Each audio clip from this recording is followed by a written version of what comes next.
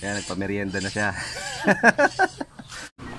What's up mga bossing? So today, uh, magdi-deliver ako ngayon ng mga parts na order sa akin ng mga tropa. So, unahin ko muna siguro punta si Jonathan kasi siya mas malapit.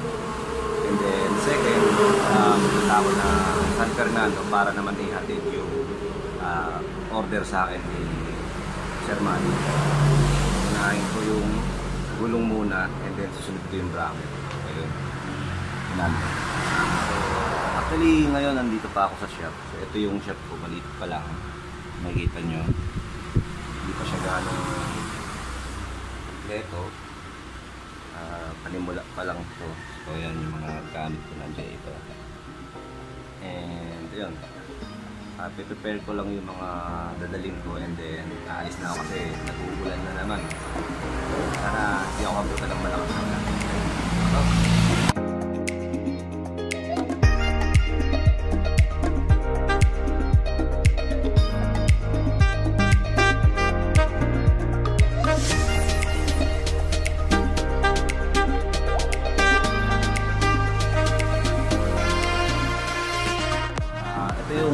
Sa akin ni Boss Manny. So, gagawin ko, linisin ko muna para hindi naman nakakahiya dun sa pagbibigyan natin mamaya. Yun, kailangan ko muna siyang uh, makita rin. Siyempre, gagamit tayo nito. And then, sunod ko yung gulong. Pero unahin ko muna si Sir Jonathan kasi siya yung pinakamalapit. And then, yun, susunod ko yung San Fernando kasi medyo malayo. So, kaya lang hindi naman ako pupunta doon kasi kailangan akong bilit para dun sa electric. And, finisin ko muna to. So, ayun mga bossing, no, nandito na ako ngayon sa sasakyan kasi inantay ko muna tumila yung ulan. And yun, ready na ako i-deliver yung mga order sa akin. So, tara, sana hindi lang lumakas yung ulan ulit kasi medyo may problema dito eh. Nagsha-shower.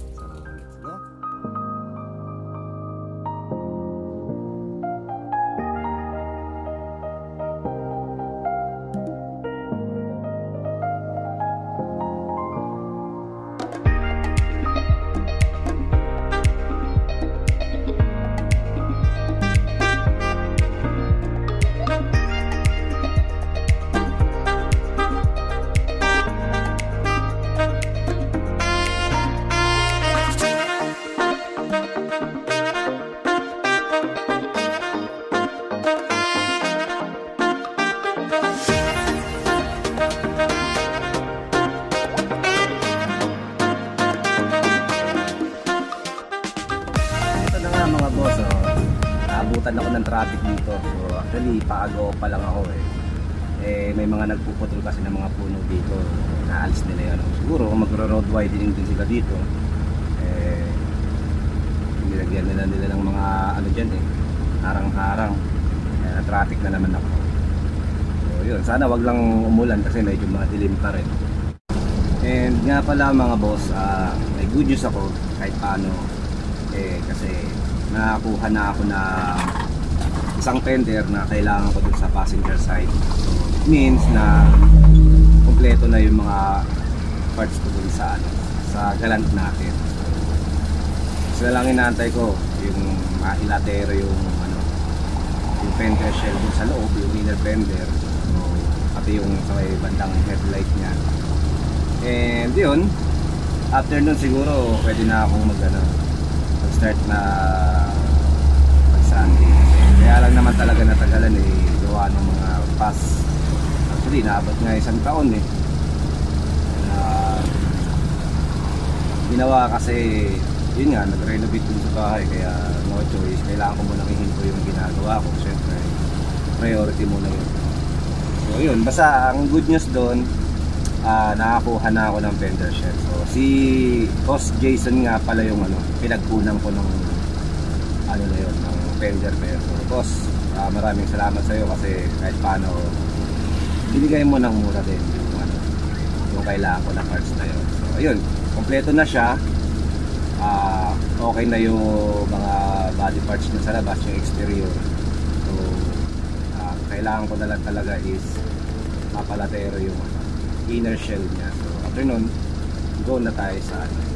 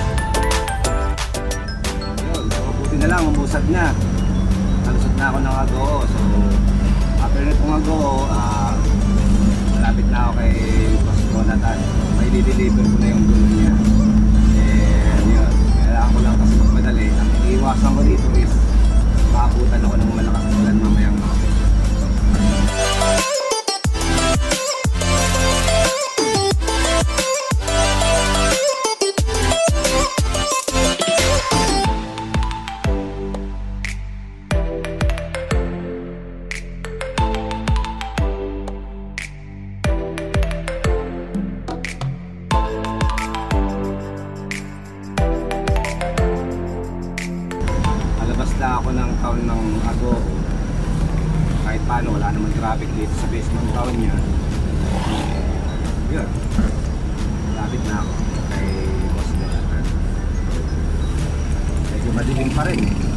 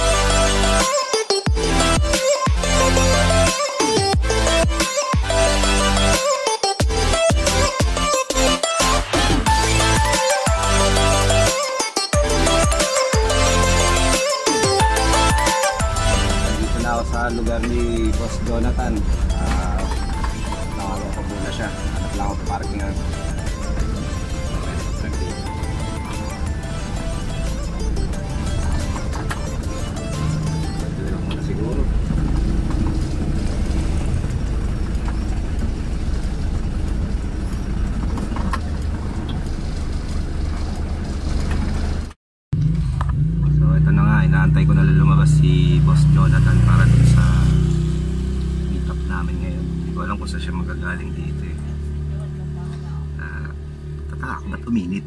Nakalong sleeve ba ako dahil ganun? Tapa. So, antabay lang. Ito yung ibibigay ko sa kanya. Order niya. Order niyan kay Sir Manny pa. San Fernando. Coming up. Ano ba yun? Tingin ko lang. Sabi ko sa'yo eh, bibiglayin kita eh. Ano ka? Huwag naman yan, Brad. Eto na oh. Oh. Hmm. Kaya nagpamerienda na siya.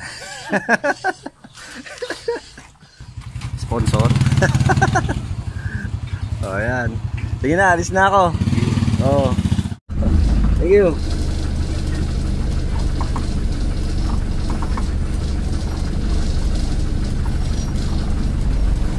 So yun, nag-uulan na. Ah, naihatid ko na yung gulong ni Boss Jonathan. So next stop ko is sa San Fernando kay Sir Manny naman. Nadaan muna ako na sentro kasi kailangan ko magsi. Naiiyak ko. At makapalang ko na naman. So, San Fernando, let's go!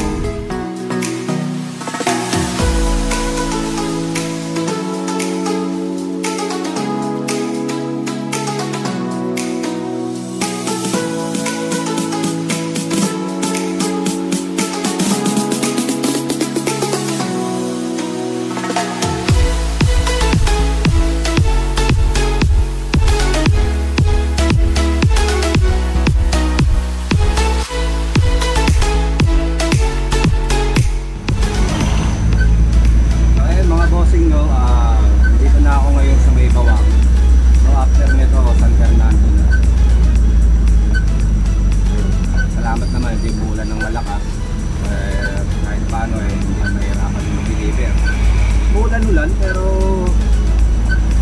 ganun din, ah, hindi naman kalakasan.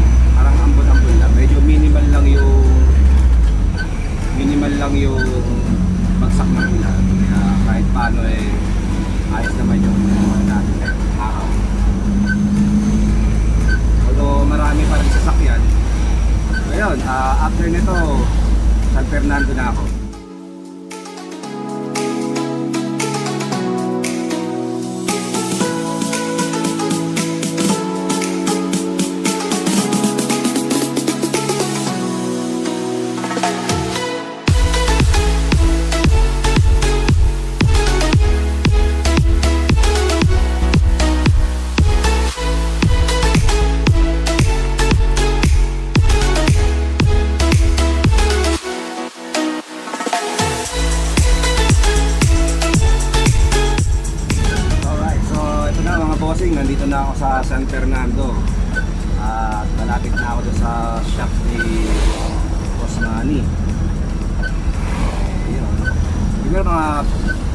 Than 5 minutes.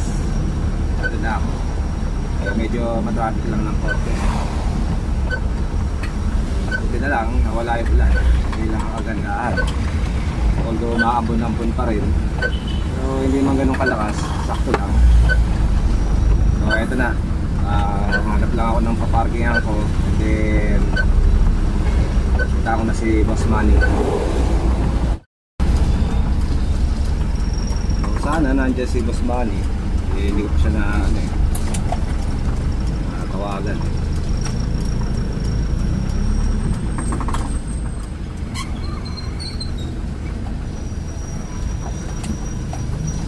Na niya.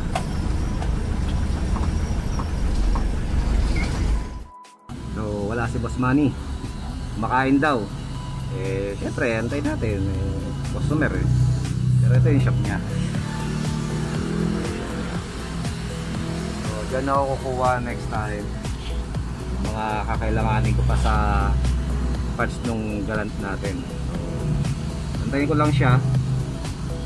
At bibigay ko na yung mga order niya.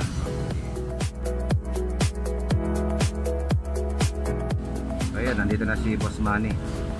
Kami ko yung nakausap lang eh, pero after nun, iabot ko na yung ano niya, item niya.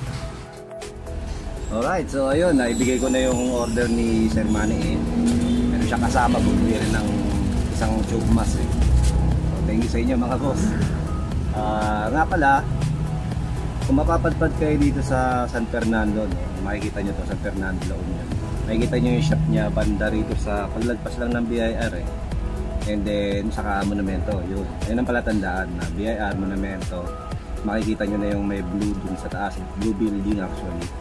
Yun, Mag Magnatech yun. Tapos meron pa silang repair center dun yun, JDC.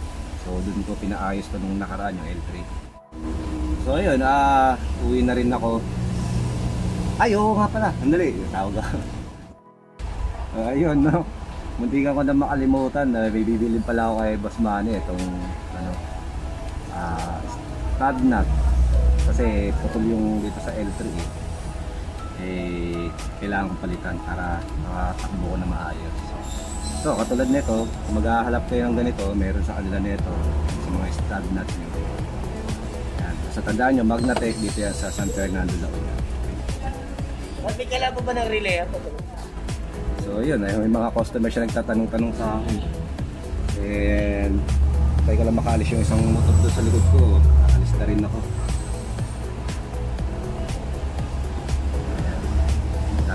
Customer ngayon eh. So mga bossing, so ano, uwi na muna tayo. Tatalog sa akin. Thank you boss!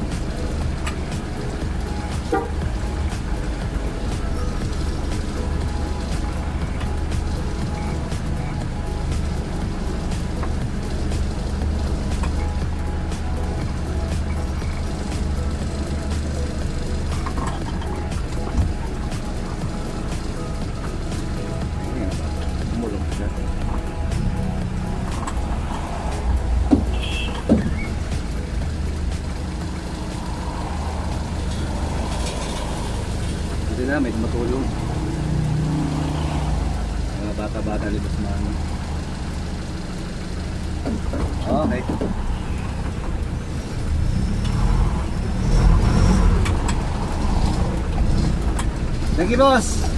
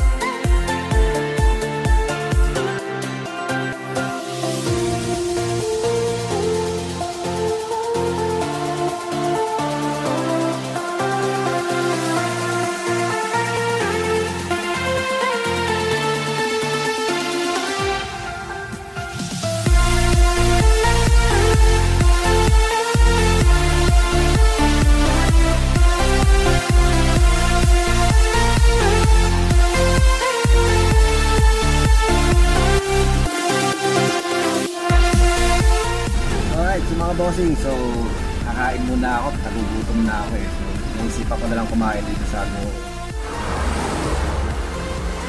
Alright, so mga bossing, ito na, nakatuloy na ako dito sa bahay and nandito na ako ngayon sa, ano, sa dating hideout sa shop. So, ayun nga, ah, kasi kanina sinasabi ko, nakakuha na ako ng tender para dun nakukompleto dun sa nung galat natin. So, makita ko sa inyo.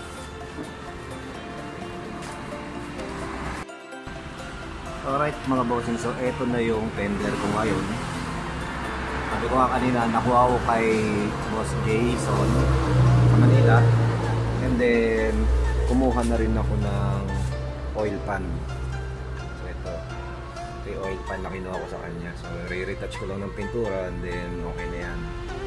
So ito rin yung iba kong mga parts ng uh, dalat dyan. So ito yung visor. Nakakuha na ako dati kasi ng visor. So yan na yung kukompleto ngayon sa part natin. Wala na tayong hahanapin. Okay. Yan. Makikita nyo rito, black din siya. Black din. Okay, so ayun na nga, naliliver ko na lahat ng mga kailangan ko i-deliver ngayon na to. And then, salamat sa inyo talaga sa kay Boss Manny at sa kay Boss Jonathan. Sila na, nakakasama ko madalas. So, ayun, so hanggang dito na lang itong video na to and then salamat sa pagsuporta nyo pa rin and yun, magkaligtaang uh, mag-subscribe and then uh, like and share syempre no? and syempre para sa mga bagong video update kaya push nyo lang yung bell button dyan so, so ayun uh, maraming salamat ulit sa inyo and uh, sa muli. Ito ang little link